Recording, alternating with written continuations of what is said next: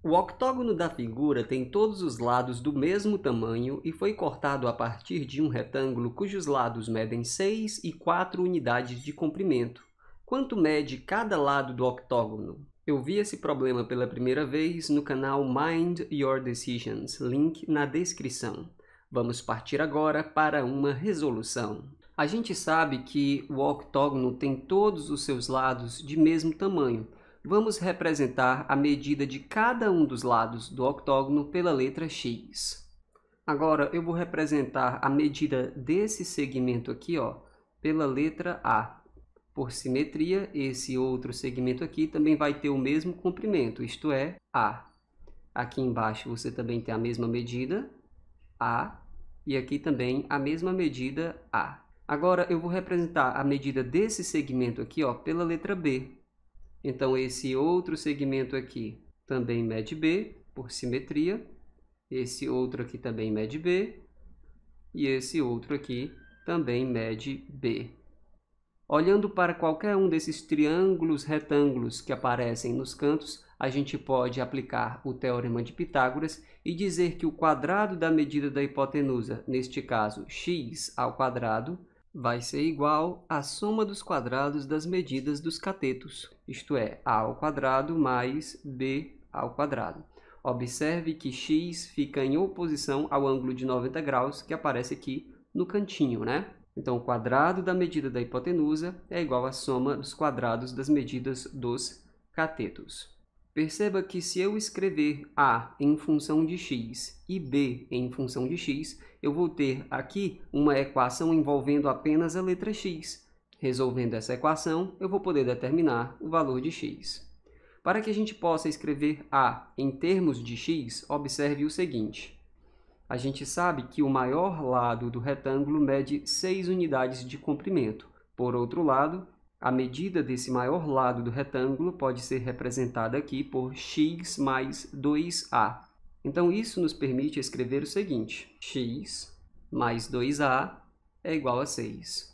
Subtraindo x dos dois lados da equação, a gente fica com 2a igual a 6 menos x. Dividindo por 2 os dois lados da equação, a gente fica com a igual a 6 menos x sobre 2. Então, a gente já tem A em termos de x. Vamos fazer agora algo semelhante para expressar B em termos de x. Observe o seguinte. A medida do menor lado do retângulo vale 4 unidades de comprimento. Por outro lado, essa medida pode ser indicada por x mais 2b. E isso nos permite escrever o seguinte. x mais 2b é igual a 4. Subtraindo x dos dois lados dessa equação, a gente fica com 2b igual a 4 menos x. Agora, dividindo por 2 os dois lados dessa equação, a gente fica com b igual a 4 menos x sobre 2. Assim, a gente tem aqui b em função de x. Agora, a gente pode substituir a por 6 menos x sobre 2 e b por 4 menos x sobre 2.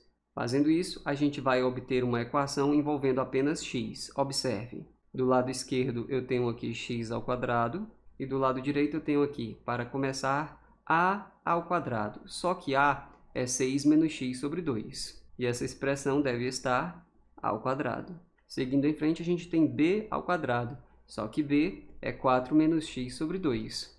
E essa expressão deve aparecer ao quadrado. Do lado esquerdo da igualdade, a gente vai manter o que a gente já tem, mas do lado direito a gente vai calcular cada uma dessas potências. Observe.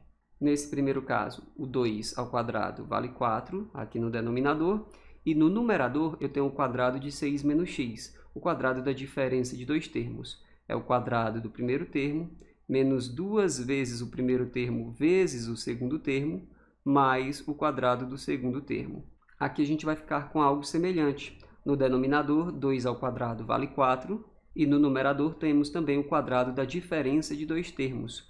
A gente fica com o quadrado do primeiro termo, menos duas vezes o primeiro termo vezes o segundo termo, mais o quadrado do segundo termo. Agora a gente vai multiplicar por 4 os dois lados da equação para eliminar esses denominadores aqui. Do lado esquerdo, 4 vezes x ao quadrado me fornece 4x ao quadrado.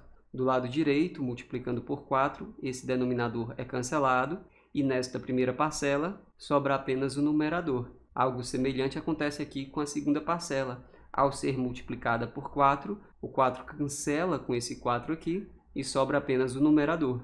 Beleza, vamos em frente. Deixa eu apagar isso aqui, deixa eu apagar isso aqui. Eu vou guardar essa informação bem aqui e essa informação bem aqui.